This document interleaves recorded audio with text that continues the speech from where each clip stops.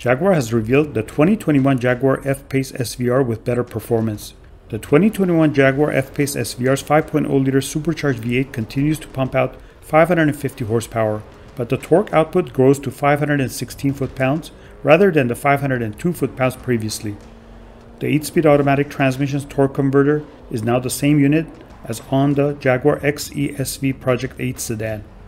The extra power and a new dynamic launch function allow the fast SUV to reach 60 miles per hour in 3.8 seconds instead of 4.1 seconds before. The top speed is now 178 miles per hour.